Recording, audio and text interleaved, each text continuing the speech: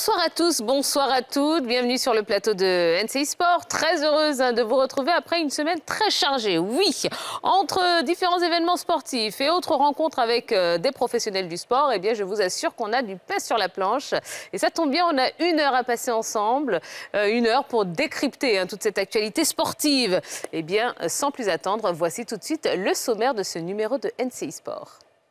Soir dans NCI Sport, Cannes 2015, Siaka Tiene, Wilfried Bonny, Patrice Baumel et Souris Diabaté racontent le sacre des éléphants. Entretien exclusif avec Aïdara Aminata, la footballeuse internationale ivoirienne évoluant en Turquie sauvée des décombres. Coupe de la Confédération, la SEC Mimosa cale à domicile, décryptage dans cette émission. Au volleyball, le CO Descartes se lance à la conquête de l'Afrique. NCI Sport a suivi les championnes de Côte d'Ivoire de la préparation à leur premier match document inédit.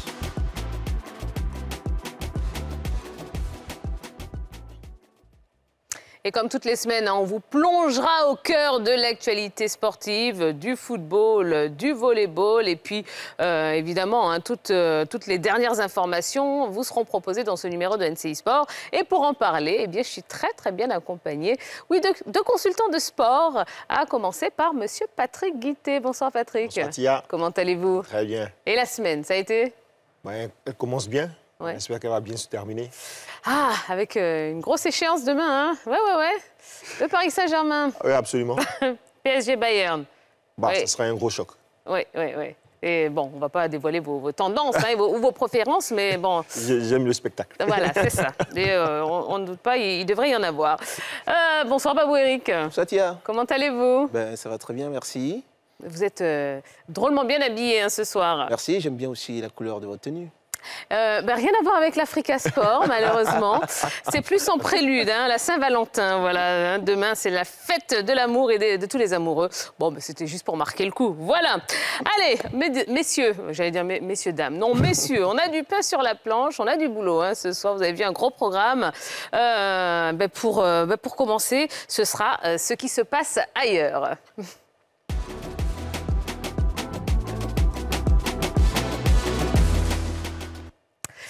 Et on va commencer ce soir par euh, une belle séquence, euh, une belle interview. Oui, c'est l'entretien de la soirée.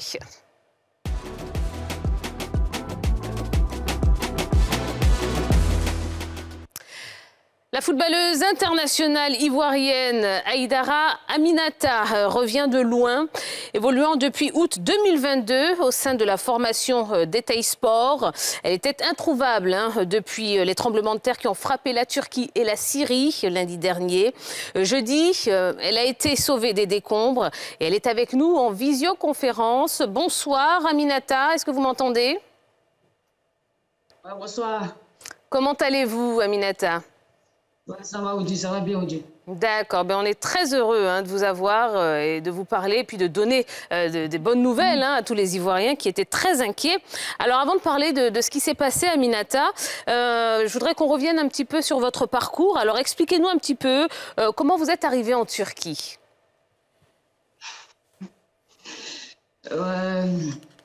J'étais d'abord en Biélorussie, mm -hmm. je là-bas. Euh, après, il y a eu un problème, mon manager, euh, il a fait deux ans et demi là-bas. Il y a eu un problème, mon manager, il était un Camerounais. Donc, il a décidé de rentrer. Donc, il s'est resté au pays, il a joué avec une équipe à Abidjan là-bas. Et puis après, il suis allé en Turquie. D'accord. Donc vous y êtes hein, depuis euh, août 2022. Alors quelle était votre situation dans le championnat turc avec votre club, hein, Etaï Sport, avant le tremblement de terre? On était dans les phases retour. Actuellement, on était deuxième. Deuxième. Deuxième du championnat. Derrière le premier. Mhm. D'accord. Alors, euh, Aminata, bon, on va, on va arriver hein, sur cette, euh, cette journée, donc lundi dernier. Racontez-nous un petit peu, qu'est-ce qui s'est passé euh, le jour du tremblement de terre? Bon, on venait le dimanche, on revenait d'un voyage, comment on appelle ça, on a joué le dimanche. On a joué à Istanbul là-bas. Donc, on revient d'un voyage euh, et on est arrivé chez nous en taille à 3 h du matin parce qu'on a fait escale Ankara. Donc, on a duré l'aéroport là-bas, on est arrivé chez nous. Oui. on est arrivé chez nous, on est arrivé vers les 2h, 2h30 comme ça. à l'aéroport. Après, on nous a compté à la maison. Moi, je suis rentrée chez moi à 3 heures, 3 heures du matin. Donc, j'en profité, ça allait me laver, et laver mes, mes, équipements. Donc, quand il fini de me laver, elle mes équipements, ça allait me coucher. Mm Vers les 3h40 comme ça. Donc, je ne sais pas comment ça s'est. Comment, je ne sais pas comment ça arrivé à mettre. Mon lit, le lit m'a jeté d'une manière. Quand le lit m'a jeté, elle est sortie directement. Je me suis levée, dit, ah, la maison tremble. Je me suis dit, peut-être c'est c'est mon immeuble à ce moment qui tremblait. Donc, ouais. il criait, la maison était tremblée, la maison était tremblée. Mais comme dans l'appartement, moi, ma chambre en haut. Donc, il sortit directement. Je me suis arrêté sur l'escalier. Les pistes ont dit à, à, mes collègues étaient en bas. Et la maison était tremblée. Avant qu'il me rende compte, ah, ah, ah, c'est parti à moi-même. On ne pouvait rien faire là. Mhm. Tout est tombé. Tout a commencé à tomber. Donc, quand c'était calmé, moins 30 secondes comme ça, moi, je me suis jeté directement dans la douche. Et ça il a vu la fenêtre, il voulait me jeter par la fenêtre. non, non, non, non, il voulait me jeter par la fenêtre. Une camarade m'a appelé, il dit, ne saute pas, ne saute pas. Quand elle m'a dit ne saute pas, est revenu vers elle.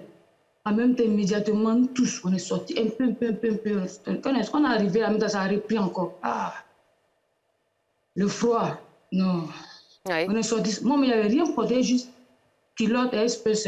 Donc, quand ça arrivé au dehors, là, c'est là qu'il a vu que non, c'était la ville, toutes les maisons étaient tombées, toutes les immeubles étaient tombés. Donc, on s'est réfugié au milieu de la route. Arrivé au milieu de la route encore, on voit que le goudron en train de se casser, casser. Ah, j'ai commencé à pleurer, pleurer, pleurer, pleurer. J'ai commencé à appeler le nom de ma vieille ah. que là, là, là, là, je pensais que pour moi, c'était fini. Oui. oui. Et, et, et, justement. Comment? Et, justement, Aminata, hein, euh, bon, vous étiez introuvable euh, de lundi à jeudi. Euh, comment est-ce que vous avez vécu ces, ces, jours? On imagine que ça a été très long. Comment est-ce que vous avez fait pour survivre hein, au milieu de tout ça? Ah, ça n'avait parce qu'il n'était pas habillé, il était sorti sans, sans habiller, puis il faisait tellement froid. Je me suis dit non, si je reste ici encore, le froid va me tuer. Parce que de la manière il descendu, c'est comme ça, s'il remontait encore, dès qu'il est monté, ça allait chercher mes habits. Mhm. Parce que l'immeuble où j'étais, il y a un côté qui est tombé. L'autre côté était cassé, cassé. Donc, j'ai fait un pied, je me suis débrouillé, je suis monté, j'ai pris ça, il a un pantalon, des chaussures, puis je suis descendu, il y a mon passeport, il a mon portable. Maintenant, ici, resté dans la rue, maintenant, il faisait tellement froid, on ne mangeait pas, il y avait le visage qui était enflé, ma jambe était enflée, le pied cassé, cassé, ma paume, tout ça là. Mhm. C'était pas évident. Pas de C'était pas évident. J'ai laissé ma connexion, j'ai mis ma connexion, j'ai laissé ma connexion comme ça. Et puis, euh, après le match même, on avait deux semaines de repos. Donc, euh, les filles elles sont, elles sont allées en famille. Le coach aussi, lui aussi, il est resté en Cara, il est parti, il est parti en famille. C'est nous, les étrangers, on est rentrés chez nous. Donc, c'est comme ça, il n'y a personne. Donc, mhm. pendant qu'il me cherchait, il laissait un message dans le groupe. On a un groupe ça veut laisser un message.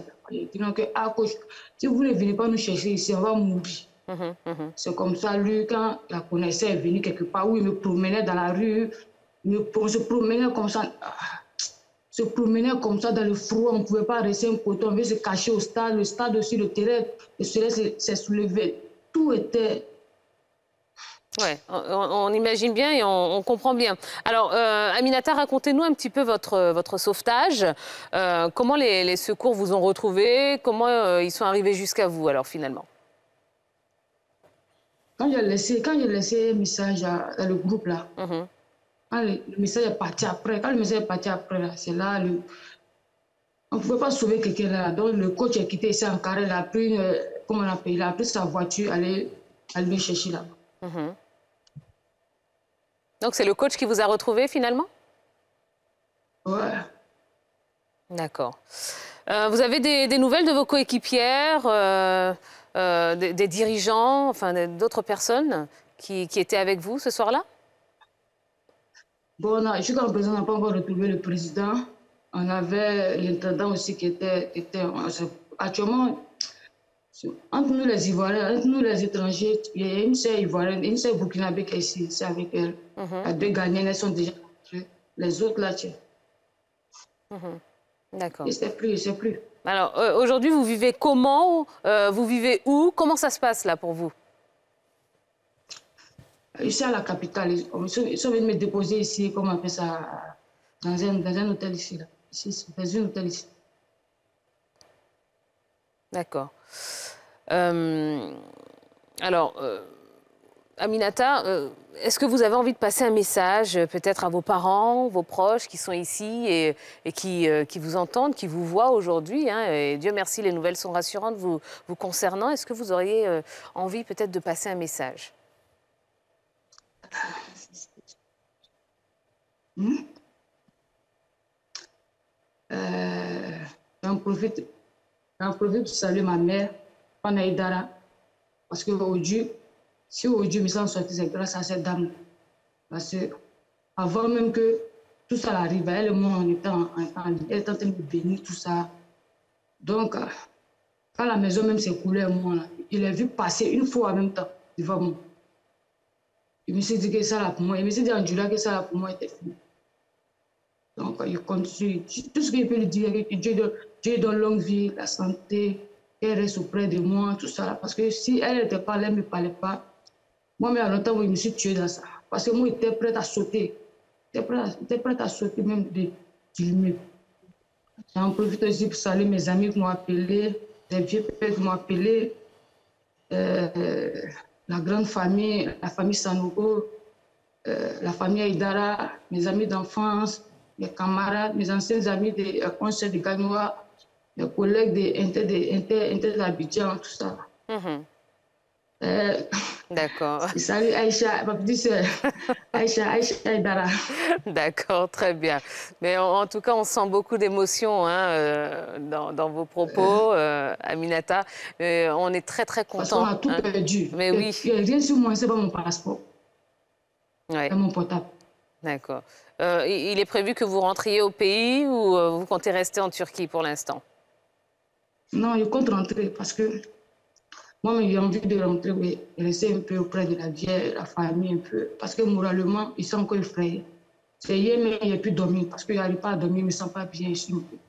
Il sent qu'il a parlé d'une manière, il ne me sent pas bien. Mhm. J'ai toujours paniqué, il s'est effrayé. Quand il m'assoit, il, il, sent qu'il a la tête en train de trembler, tout ça. Mais comme le manager m'a à tout, le manager, chaque jour, il vient, chaque jour, il vient me parler, il vient me, voir, le coach. Donc, mhm. il m'a dit d'attendre, donc je suis mhm. encore là. Il compte rentrer. D'accord, bah, très bien. Bah, écoutez, on vous souhaite beaucoup de courage, hein, Aminata. Euh, et puis, euh, bah, on vous attend ici à Abidjan. Et, soyez forte. En tout cas, les nouvelles sont rassurantes vous concernant. Euh, et on est, on est très, très content hein, que, que, ça aille et, et, que vous soyez encore vivante. Et beaucoup de courage, vraiment. Merci, merci. Allez, on vous souhaite de passer une bonne soirée, Aminata. Reposez-vous. Voilà.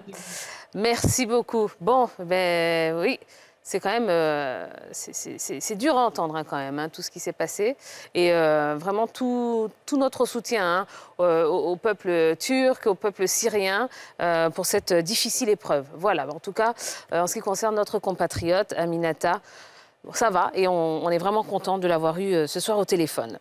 Allez, eh bien on, va, on va enchaîner.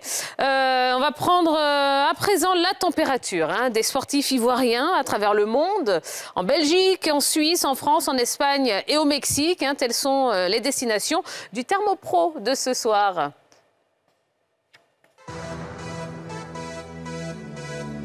On sort tout de suite le thermomètre pour prendre la température des sportifs ivoiriens à travers le monde.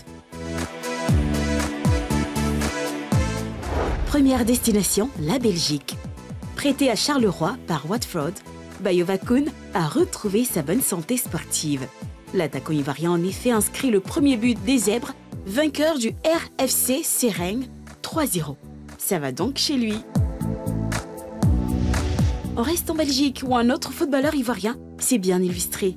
Il s'agit de Jocelyn Driconan, qui a contribué à la victoire du KS Eupen, dominateur de Mechelen, 2 buts à 1. En Suisse, Chris Bedia est lui aussi en forme. Le joueur du Servette Football Club a signé un doublé, offrant ainsi la victoire aux Grenades. L'Ivoirien totalise désormais 4 buts en 6 matchs joués cette saison. Rendons-nous en Espagne, où Franck Caissier était titulaire ce dimanche lors du choc Barcelone-Villarreal. L'ancien joueur du Milan a disputé 89 minutes de jeu avant d'être remplacé Buteur la semaine dernière, la panthère de Zebizeko s'installe petit à petit dans le dispositif de Xavi Hernandez. Direction le Mexique, l'insaisissable Arnaud Akeloba a encore fait parler la poudre. L'ancien joueur de la SOA a encore marqué, mais son équipe s'est inclinée 3-1. Cette défaite ne saurait cacher l'état de forme d'Akeloba, déjà buteur le week-end dernier. File en France, plus précisément à Marseille. Après avoir purgé 7 matchs de suspension, Eric Bailly a retrouvé ses coéquipiers à la compétition. Le défenseur des éléphants a disputé les 45 dernières minutes. Il a touché 45 ballons, réussi 24 passes et gagné 5 duels au sol.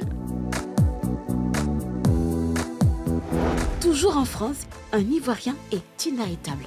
Son nom, Jean-Philippe Crasso. Samedi, il a inscrit son 11e but de la saison, contribuant ainsi à la victoire de l'AS Saint-Etienne contre Dijon. Crasso prend par la même occasion la tête du classement des buteurs de la Ligue 2 française. On termine ce thermo. Un thermopro qui a été réalisé par Eustache Niaba et euh, Marco Seri. Alors, euh, Patrick Guité, mm. bon, Bailly, ça va? Oui, ça va, ça va très bien. Pour lui, il revient à, la mhm. compétition après donc sept matchs de, suspension. C'est vrai qu'il ben, avait réalisé un geste assez euh, compliqué lors de la Coupe de, France, je pense qui, avait amené donc son, adversaire à, l'hôpital. Et là, il revient à, la compétition. C'est une très bonne nouvelle pour les, éléphants de, Côte d'Ivoire qui retrouvent, on va dire, leurs leur joueurs euh, en jambes, tout simplement. D'accord. Et euh, vous, Eric, vous vouliez parler bah, des attaquants, hein, des attaquants de manière générale. les attaquants, parce qu'on sait qu'au milieu de terrain, on est vraiment outillé mm. avec le retour de, euh, on va dire, de la panthère de Zebiseko, tout mm-hmm. ça, avec Fofana. On sait qu'au milieu, on est quand même outillé. Devant, je vois quelques attaquants, tu commences à marquer. Je pense que ça donnera aussi vraiment le choix à l'entraîneur national. Absolument. Allez, on va marquer euh, la première pause de la soirée. Euh, juste après, eh bien, on euh, fera le point sur tout ce qui se passe chez nous. Alors, restez branchés. À tout de suite. Nous sommes de retour sur le plateau euh, de NCI Sport. Merci d'être avec nous et merci d'être aussi nombreux à nous suivre tous les lundis de 20h30 à 21h30 pour passer en revue l'essentiel hein, de l'actualité sportive euh, de la semaine. Et ce soir, pour en parler, eh bien, nous avons Patrick Guité et euh, Eric Babou avec nous. Et bah oui, on a fini, on en a fini avec ce qui s'est passé ailleurs, hein, ce qui s'est passé en dehors de la Côte d'Ivoire. Eh bien, on va passer maintenant à ce qui se passe chez nous.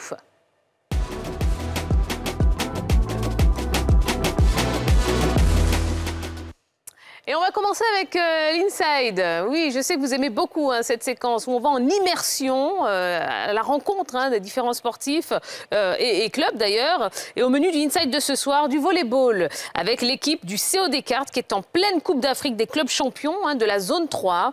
Yves-Boris Vey, Armel Yao et Hervé Kiessé nous font vivre les coulisses de leur préparation jusqu'au premier match de la compétition. Regardez.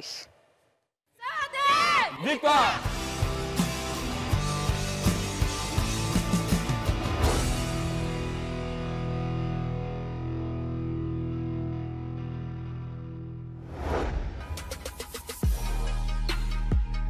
en diagonale. Comment les filles du président Francis Koulibaly préparent ce rendez-vous important de la saison? Eh bien, NCI Sport rend visite aux Cartésiennes pour vous faire part de l'état d'esprit du groupe avant le début de la compétition. Top, c'est parti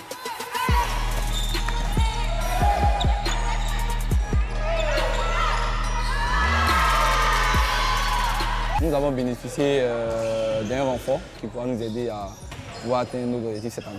Il s'agit de Morty Benedicta, une joueuse du, Ghana, euh, Ghana Air Force. C'était pas facile de la libérer vu qu'elle est dans l'armée.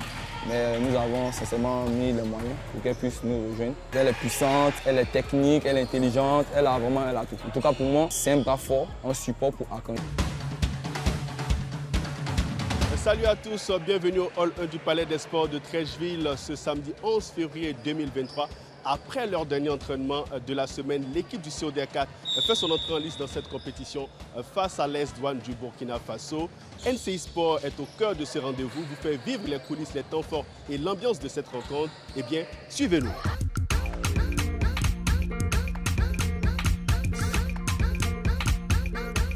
We pray in the name of God the Father, the Son, and the Holy Spirit.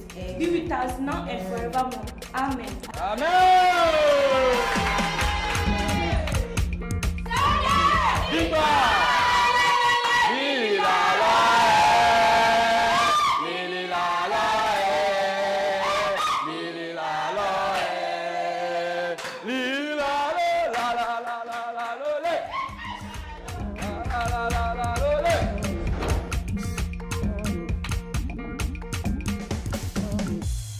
Coach, vous connaissez cette équipe de Douane. Comment vous comptez aborder cette rencontre? De manière relaxe, hein. voilà, il n'y a pas grande chose. Pour ma part, c'est une équipe pénable. J'ai dit aux filles de rester concentrées, de jouer solidaire, de se battre sur toutes les balles. Et bon, on verra ce que ça va donner. Nous sommes concentrés actuellement. Euh, on attend le match pour faire ce qu'il y a de mieux. Quelles sont les forces de cette équipe euh, de, du COD4 Le service, la réception, euh, la défense et puis euh, le bloc. Dans le système normal 5-1, on joue avec une passeuse et 5 attaquantes. Mais cette fois-ci, on, on, jouera avec nos deux passeuses. Car il y a une dedans qui, est, en tout cas au niveau de l'attaque, elle a, elle, elle a un bon profil.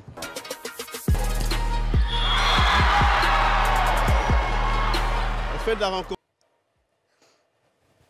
Et oui, on leur souhaite bonne chance hein, à nos filles euh, du COD Cartes euh, dans cette compétition, donc la Coupe d'Afrique des clubs champions. Alors messieurs, est-ce que vous pensez, euh, est-ce que vous croyez aux chances hein, des filles du, du COD Cartes euh, dans, dans, la compétition?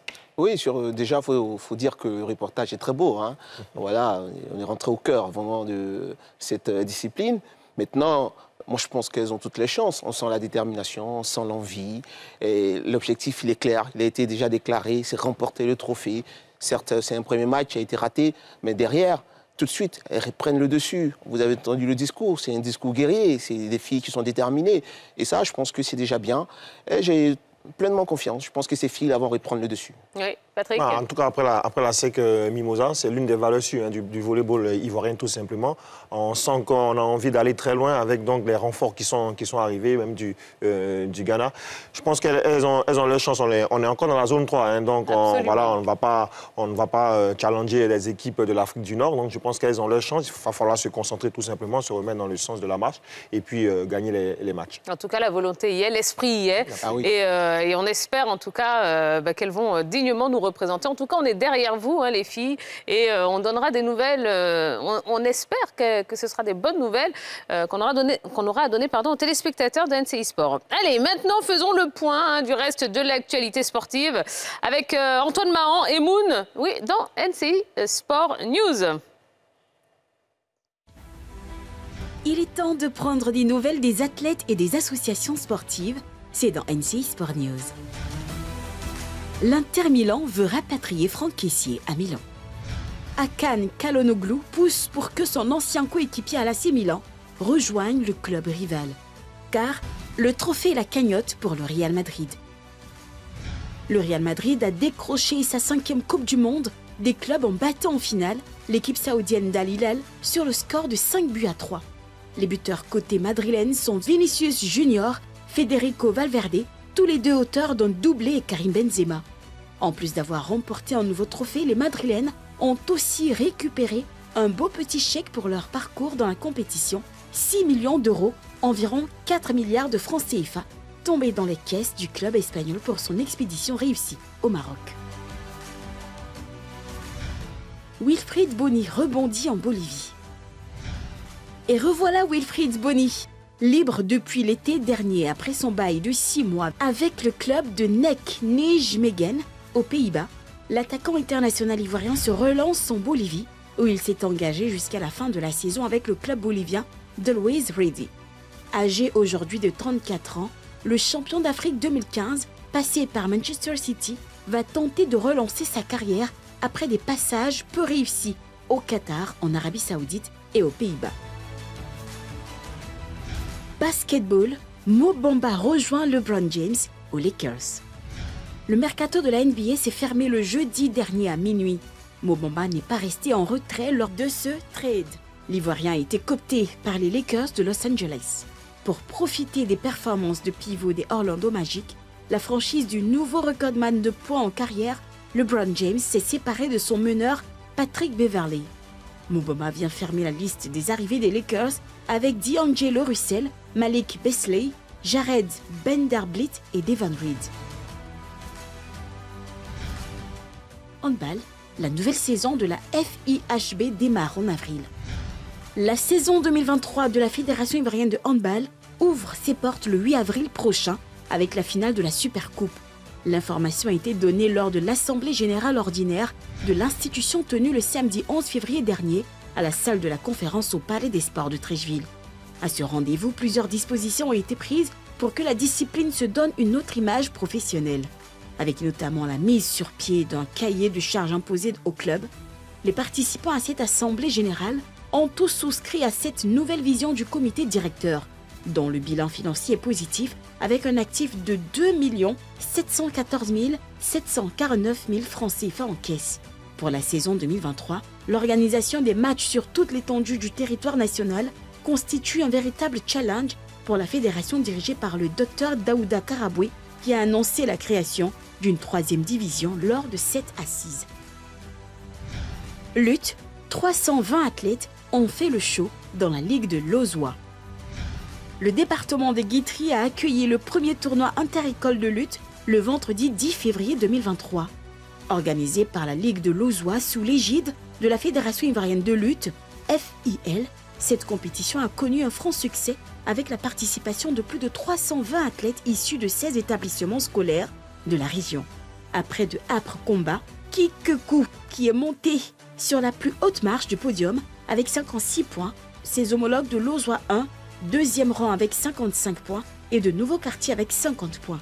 A noter que plusieurs personnalités dont le sous-préfet de Lozois, Ndriao Abdan, sont venus apporter leur soutien au patron de la lutte ivoirienne, Honoré Allo, qui fait de la promotion de la lutte dans les écoles une priorité cette saison.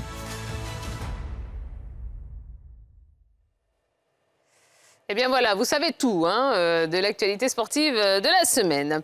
Allez, on enchaîne. Messieurs, est-ce que vous savez qu'il euh, y a quelques jours, on fêtait un anniversaire? Non, pas le mien, pas encore, en mars. Eh bien, le 8 février 2015, la Côte d'Ivoire remportait sa deuxième Coupe d'Afrique des Nations. Comme en 1992, hein, la finale avait opposé les éléphants aux Black Stars du Ghana. Et comme en 1992, c'était au terme d'une insupportable séance de tir au but. Huit ans après, les acteurs du sacre racontent. C'est le doc de ce soir. Merci tous les gens qui ne croyaient pas en nous. Aujourd'hui, on s'est dit qu'on a gagné. On aurait, dû, on aurait pu ne même pas aller à la Cannes. C'était difficile. Personne ne croyait en nous. On avait un groupe soudé qui avait faim, surtout faim. Et je pense que c'est ça qui a payé. Voilà. On a remporté ce 30e euh, trophée de la Cannes. Et puis j'ai gardé ce maillot où euh, nous sommes ce soir-là, passés de joueurs ou, ou staff à champion avec cette deuxième étoile. À jamais champion d'Afrique avec la Côte d'Ivoire.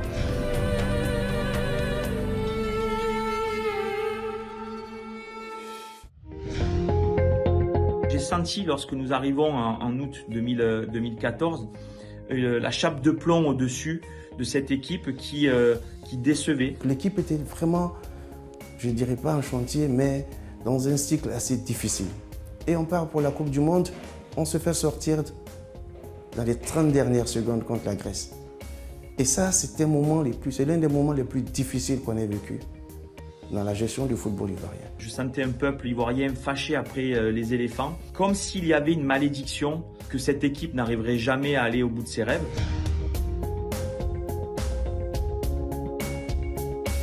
Lorsque nous rentrons dans cette compétition, on se dit euh, il faut aller au bout. Il faut aller au bout parce que nous sommes euh, les éléphants de la Côte d'Ivoire et que euh, on se doit de faire le job.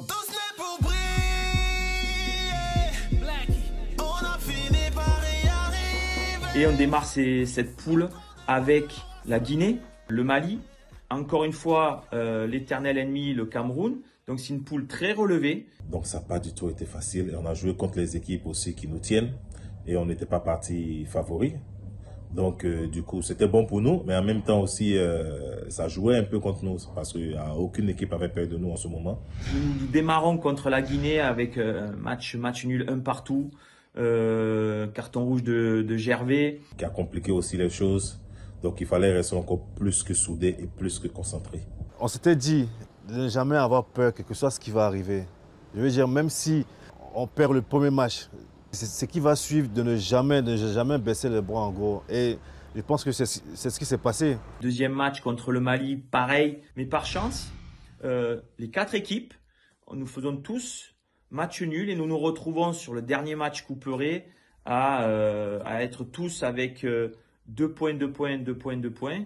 Et donc il faut automatiquement gagner notre dernier match pour se qualifier.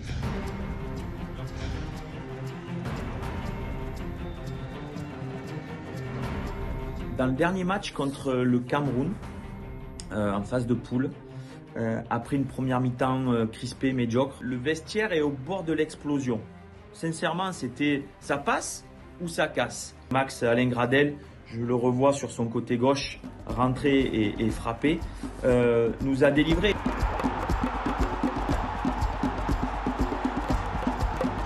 Le déclic s'est fait 100% contre le Cameroun. Lorsqu'on on, élimine le Cameroun, moi pour moi c'était en plus c'était un match très très très très, important et un match décisif. À partir de là, je me, je me suis dit qu'on pourra aller loin.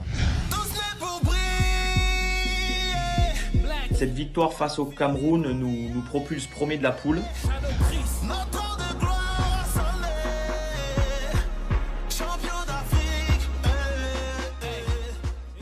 On gagne 3-1 euh, contre l'Algérie sans dominer les débats. Où là, on s'est dit, ah, on a gagné le Cameroun, on a gagné l'Algérie, on peut aller au bout. Je me revois la veille de la finale. Euh, nous finissons l'entraînement et forcément, ben, on prépare cette finale le mieux possible avec une séance de tir au but. Et donc, je propose à Gilles Morisseau, qui était entraîneur des gardiens, de dire est-ce que Sylvain veut venir faire quelques arrêts? Et donc, euh, il décide de venir en faire quelques-uns.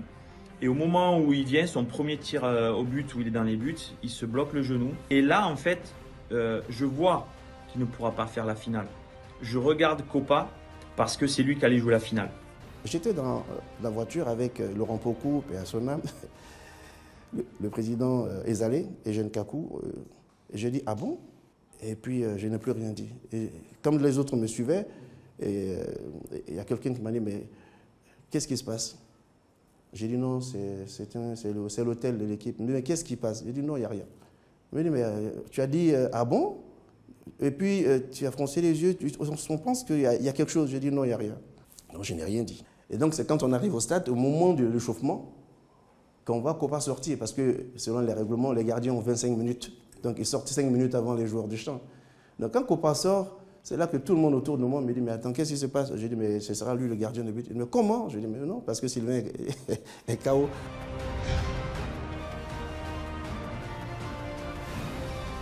Après un 0-0 euh, euh, dans cette finale contre le Ghana, on prépare au mieux nos, nos tirs au but et puis on démarre.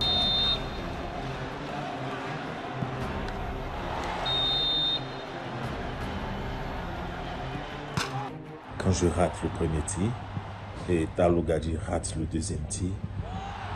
Mais putain, là, mes fesses chauffent. C'était pas du jeu. Je me suis dit, ben, ça va, ça va être compliqué ça. Et là, je regarde toute la tribune en face des supporters ivoiriens. Tous les, les hommes et femmes en, orange quittent le stade. Ben derrière euh, commence le, le, le Copa Show. Et au final, euh, c'est lui qui fait l'arrêt sur le gardien adverse et puis qui va d'un plat du pied côté ouvert euh, finir le job. Et puis... Là, là, c'est la, folie, c'est la folie, tout le monde s'accrie.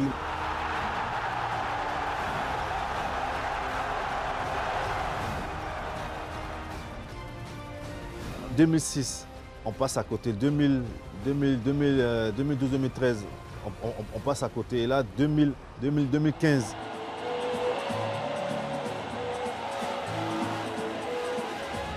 Le retour au pays, euh, incroyable.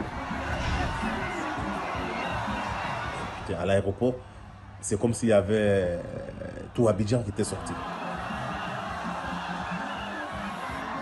On, sait tous que cette, coupe-là, les Ivoiriens l'attendaient. Et je me dis, comment on va faire pour se frayer un passage? On a mis pratiquement trois heures de l'aéroport au palais. C'était beaucoup, beaucoup, beaucoup d'émotions. On a vu comment les gens étaient heureux. Et ça, c'était l'une des grosses satisfactions de voir tout ce monde sortir pour nous accueillir. Et c'était magnifique.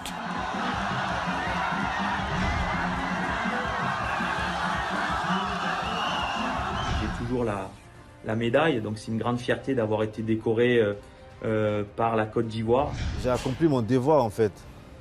Que toutes ces années faites avec la sélection, ça n'a pas été pour rien. Pour tout joueur, gagner une Coupe d'Afrique étant africain, c'est quelque chose d'inoubliable.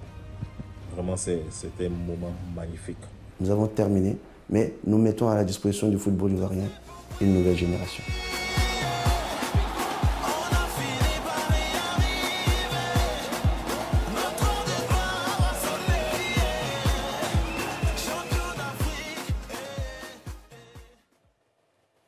Voilà, très beau documentaire hein, euh, préparé par la rédaction euh, de NCI Sport.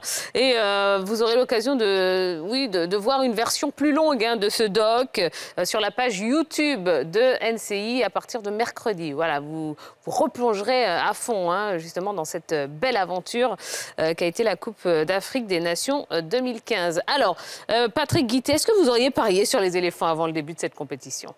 En toute honnêteté, évidemment compliqué de dire oui de, loin. De loin, parce que euh, nous avons participé à, cette compétition en tant, que, en tant que journaliste. Quand on arrivait, on arrivait sur le, terrain, on a, dit, on a vu des joueurs qui étaient confiants. C'était bizarre, mais eux, ils étaient confiants pendant que mhm. nous, nous, étions inquiets.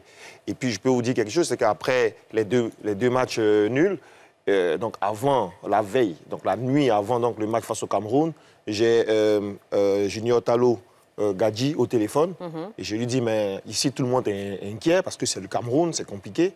Et lui me disait, euh, ben, on va les battre. Mhm. dit, mais, non, on va les battre.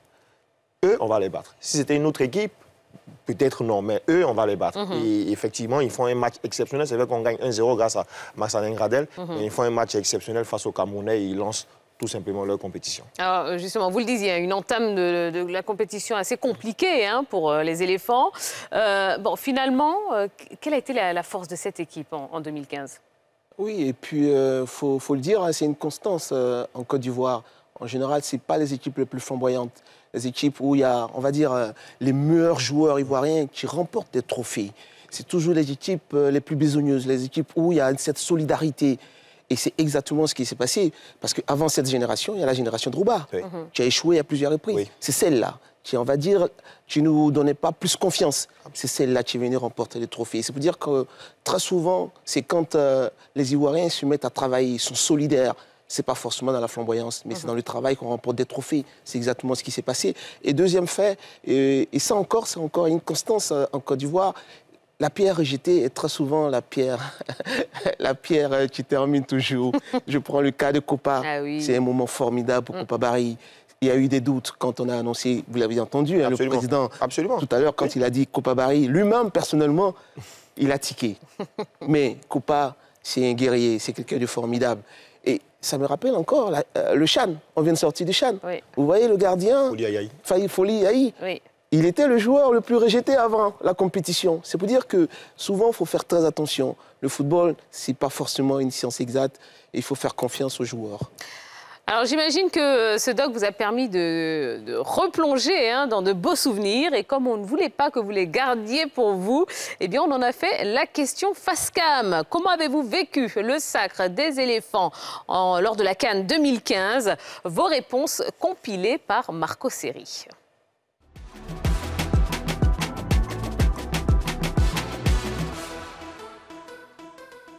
Je me rappelle en 2015, le jour de la finale, j'étais encore nourrice, mon bébé avait deux mois, j'étais en famille, on a regardé la finale ensemble jusqu'au tir au but. C'était tellement chaud que j'ai dit je ne peux pas supporter, je ne regarde plus. Je suis allé, euh, je suis allé dehors, j'écoutais à la radio. Quand on marque là-bas, je cours, je viens dire à ma famille qu'ils ont marqué. On dit c'est faux, c'est faux.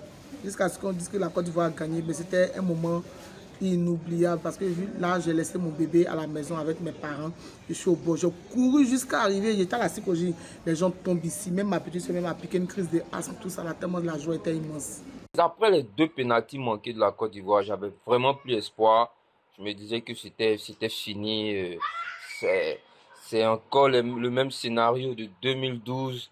Voilà. Et là, le Ghana manque aussi ces deux pénalties. J'ai dit, waouh, cette année-là, Dieu va faire grâce. Et après le, tir au but de Copa Barry, c'était la folie, la folie, la folie. on a couru dans tous les sens. Moi, j'ai regardé le match dans, un espace lunaire et en allant, j'étais déterminée, quoi. Je vous dis, le maquillage orange, blanc, vert sur le visage, maillot orange, en tout cas, j'étais déterminée. Mais je vous assure que on n'était même pas la deuxième mi-temps, j'avais plus de maquillage sur le visage parce que je transpirais. Et là, les tirs au but, je ne pouvais plus tenir, je suis sortie même du, du, de l'espace et je suis arrêtée là, je guette, je regardais quelqu'un, dès que j'entends quelqu'un crier Qui a marqué Qui a marqué Qui a marqué Et après, on a eu ce but-là de libération, mais c'était vraiment quelque chose de fort. Et j'espère qu'on aura l'occasion de revivre ça. D'ici là, portez-vous bien. Personnellement, ça m'a donné envie de courir au plus, tenter les moyens du bon pour fou. Ça m'a poussé à dépenser les 5 000 francs qu'on avait payé pour tous. Tellement j'étais content. Je me souviens, j'avais 10 ans et je regardais le match avec mes tontons. Et arrivé au tir au but, euh, je me souviens aussi que les deux premiers tireurs ivoiriens avaient raté leur penalty. Du coup, ça, ça a énervé mes tontons. Ils ont dit, bon, on regarde plus, c'est fini, on a perdu. Ils ont été à la télévision. Bah, après, chacun est parti se coucher et voilà. Parce qu'on connaît tout ça, lorsque les éléphants perdent, tout le monde dort à, à 19h en Côte d'Ivoire, c'est ce qu'on dit. Donc voilà, je suis allé, j'étais assis sur la terrasse et on a entendu des cris et c'est là que j'ai réalisé qu'il y a quelque chose qui s'est passé. Donc euh, on a tous rallumé la télé, on a continué la séance, on a suivi la séance des tirs au but. On s'est rendu compte que des joueurs ghanéens avaient aussi raté et on a suivi la, séance jusqu'à la fin et on a vu la victoire finale. C'était un truc de ouf. Il y avait des feux d'artifice partout ce soir. Donc ça restera gravé jusqu'à la fin. En Mauritanie en ce moment parce que je suis de père mauritanien, de ivoirien. Ça faisait tellement plaisir de voir les éléphants remporter cette deuxième étoile. J'étais tellement content, ça m'a donné la chair de poule. Là où je vous parle actuellement, même j'ai la chair de poule parce que c'est le moment vraiment inoubliable. J'aimerais revivre ça encore. Et que Dieu fasse que cette canne ici, en Côte d'Ivoire, soit vraiment euh, un succès pour le pays et pour tous les amoureux du football. Dimanche 8 février 2015, le sac des éléphants de Côte d'Ivoire. Vraiment, ce jour-là, c'était un jour mémorable pour moi. Ce jour-là, les éléphants m'ont fait rêver. Je me rappelle comme si c'était hier. Vraiment, je voulais dire félicitations à tous ceux qui ont participé à cette victoire qui m'a permis de me retrouver et aujourd'hui d'avoir les deux étoiles sur, sur mon maillot. Vraiment, merci, merci à NCI, puis merci à tous ces joueurs qui ont participé. Eh oui, deux étoiles hein, sur notre joli maillot. Et on espère qu'il y en aura une troisième. Hein, très bientôt. Et on, espère. Voilà. En tout cas, on, sera derrière. On va les pousser comme d'habitude. Allez, on va marquer une nouvelle pause hein, dans ce numéro de NCI Sport. Ben, ne bougez pas, juste après, eh bien, on va parler euh, de la Coupe CAF, de la Ligue des champions africaine. Voilà, on vous donnera euh, les dernières informations. Alors, restez avec nous, on revient dans quelques instants. Et c'est déjà la troisième et dernière partie de ce numéro de NCI Sport. Ben, on espère que vous passez un bon moment et que vous passez une belle soirée en notre compagnie. Encore un sujet dont on va parler avec euh, nos consultants, Patrick Guité et euh, Babou Eric. C'est la phase de poule hein, des Coupes africaines de clubs qui a débuté ce week-end. En temps timide hein, pour notre représentant, la SEC Mimosa, en Coupe de la Confédération. Les Mimosas ont été contraints au nul 0-0 par le Motema Pembe, un représentant de la République démocratique du Congo. Alors, messieurs, comment est-ce que vous jugez cette première sortie des Mimos? Vous l'avez dit, timide, tout simplement, euh, devant son, public, même si euh, le, stade de Yamsogo n'était pas plein à craquer pour pousser les Mimosas à, la victoire. On a encore la même maladie, manque d'efficacité. Euh, c'est vrai qu'il y a la SEC avait, avait le ballon c'est vrai que la SEC a, dominé en, termes de, situation et même d'occasion. Elle a même touché le, poteau. Mais la même chose revient à chaque fois que les équipes ivoiriennes eh bien, se, produisent, c'est l'inefficacité. Offensivement, on n'a pas ce tueur-là capable donc de, marquer un but pour, lancer la machine. Et c'est là où euh, la SEC devra travailler parce que en Coupe d'Afrique, il faut faire le pain à la maison et aller grappiller euh, des points à l'extérieur. Mhm. Et là, déjà, je pense hein, pour moi que la SEC a perdu euh, deux points face au Motema. Euh, au Darling Motema. Mhm. même diagnostic pour vous, Babou Eric Écoutez, c'est pas une surprise. Qu'est-ce qui a manqué hein. à la SEC? Écoutez, c'est pas une surprise. Quand on suit la SEC depuis un moment, on sait qu'offensivement, c'est une équipe qui est vraiment dans du dur. Hein. la, la SEC gagne souvent on va dire, beaucoup de difficultés. Elle est solide derrière, mais devant, c'est vraiment poussif. Hein. Le jeu n'est pas bon. Et puis, évidemment, il n'y a pas le joueur tu vas faire la différence, Patrick l'a dit, il n'y a pas le buteur. Celui qu'ils avaient avec euh, Konaté, là c'est fini, il n'est plus là. Konaté, Donc euh, ouais, offensivement, la SEC est vraiment à la ramasse. Et ce n'est pas une surprise, parce qu'on le dit depuis un moment, et ça se répète. hein. Chaque année, c'est pareil, ça fait un moment que ça dure. Il faudrait un moment que euh, les staff dirigeants se réveillent et qu'ils se mettent à travailler et rectifier les choses. Parce que, quoi qu'on dise, hein, un club comme la SEC se nourrit des victoires. Les supporters, ils viennent au terrain pour regarder du spectacle et pour les trophées. C'est vrai qu'il faut construire. Ce côté, c'est bon, on va dire, c'est bien, félicitations. Mais il faut derrière qu'il y ait des victoires. Il faut qu'il y ait aussi euh, du travail sur le plan sportif pour que les supporters s'identifient. Moi, je vais vous dire, regardez, quand euh, Roger euh, Ognien, quand il arrive, quand il prend la tête de la SEC, il vient pas avec des briques. hein. Quand il vient dans, dans sa besace, il y a Kassi Kouadio, il y a Aboulaye Traoré, il y a Gadji Seli, il y a Troussier. Et tout de suite, la mayonnaise prend. C'est un spectacle fou au stade de Fauboigny. Et donc derrière, tous les membres associés se retrouvent. Et c'est une fête. Et derrière, il bâtit le club. Et là, cette fois-ci, quand on regarde, il bâtit. Mais sur le plan sportif, il n'y a rien. Enfin, les vous- résultats vous ne suivent parlez pas. de membres associés, les actionnaires. Non, je ne suis pas des actionnaires. c'est pareil. hein. C'est pareil. C'est- pareil. C'est un petit lapsus, euh, mais bon, Oui, non, hein. révélateur. C'est pareil. De l'autre côté, c'est encore plus dur. Mais c'est pour dire que un club, les grands clubs, certes bâtissent, mais se nourrissent de victoires, se nourrissent des trophées. D'accord. Très bien. Euh, dans l'autre match du groupe, les Diables Noirs du Congo ont été sans pitié hein, pour Rivers United du Nigeria, lourdement tombé sur le score de 3, à, 3 buts à 0. Et euh, pour son deuxième match, eh bien, la SEC Mimosa ira au Nigeria hein, pour affronter euh, Rivers United dimanche prochain. Ce sera un voyage périlleux pour les Ivoiriens ou pas, selon vous? Absolument. Bon, déjà, ce qu'on nous a montré dimanche donc, au, au stade de Yamoussoukro, c'était compliqué. Pour, pour avancer, il faut gagner. Pour gagner, il faut marquer des buts si vous n'avez pas de buteur. Et euh, c'est vrai que euh, Eric parlait un tout petit peu de la, politique de la, de SEC euh, Mimosa. Au niveau sportif, je pense qu'il y a trop de turnover. À chaque fois, on change l'équipe. Il y a, des joueurs qui sont recrutés, trois mois après, et qui sont libérés. Donc, il faut vraiment trouver la, bonne parade pour garder, on va dire, une ossature euh, stable au niveau donc, de cette équipe pour qu'on ait des automatismes. Parce qu'à chaque fois, si vous changez des, des joueurs, vous changez l'équipe, eh bien, les automatismes ne se, ne se créent pas tout de suite. Il faut beaucoup de matchs ensemble pour pouvoir créer cet automatisme-là. Donc, je pense qu'au Nigeria, ça sera vraiment, vraiment compliqué pour les, pour les Mimosas. Vous êtes d'accord, Eric? Oui, absolument. Je pense que ce sera difficile, mais il y a un motif d'espoir. hein, parce que on, on voit cette équipe euh, défensivement, c'est une équipe qui est quand même solide. Voilà, on retrouve des- des- une défense qui, qui retrouve ses repères, il y a la complé- complémentarité, il y a deux joueurs devant, là tu fais le boulot quand même, hein, défensivement. Ici, c'est- C'est vrai qu'ils n'apportent pas la projection, ils n'apportent pas la qualité offensive, mais derrière, ils sont solides. Donc c'est un motif d'espoir, on va dire, Mhm. euh, pour les Mimos. Donc on, on peut espérer, mais c'est vrai que derrière, il faut que euh, ce club-là commence à, à- recommence à travailler Mhm. sportivement. Parce qu'il a dit, il a été gentil, hein, euh, Patrick. Euh, le mercato, en termes de recrutement, c'est un flop. C'est clair, il faut le dire. Ça ne travaille pas la cellule de recrutement à la SEC, parce que ce qu'ils font, c'est pas bon du tout. C'est pour ça qu'on se retrouve dans cette situation. Alors que c'est le porte-flambeau. hein. Moi, j'insiste parce que c'est le porte-flambeau du football ivoirien, euh, la SEC Mimouza. Si la SEC marche en Coupe d'Afrique, derrière, ça va suivre pour tous les autres clubs. Mhm, D'accord. Bon, on va regarder euh, tous les résultats hein, euh, des coupes africaines. On commence par la Ligue des champions de la CAF. Vous allez voir tous les résultats s'afficher. On va juste retenir hein, dans, le, dans le groupe C, le Raja Casablanca eh ben, exterminé les Vipers SC d'Ouganda 5-0. Roya AC de Guinée euh, a battu euh, Simba SC de Tanzanie. Et puis dans le groupe D, euh, l'Espérance de Tunis euh, s'est imposée également face à El du Soudan. Et euh, le Zamalek a perdu face au CR Belouizdad d'Algérie.